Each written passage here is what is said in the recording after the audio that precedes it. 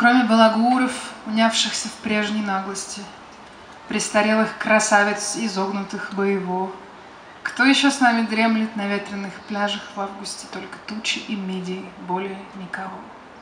Кроме нас, выбывших из правдолюбивых, спорящих, речи обличительные, добродетели показны, Кто еще свидетель всей этой роскоши, этой горечи, этой пегости, ржавчины, белизны?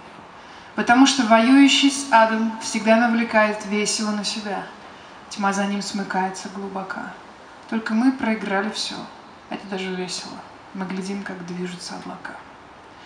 С мокрыми волосами разжалованные, пешие, бесполезные, растерявшие, что могли, мы садимся на берегу пожинать поспевшие колыбельные штормы, закаты и корабли.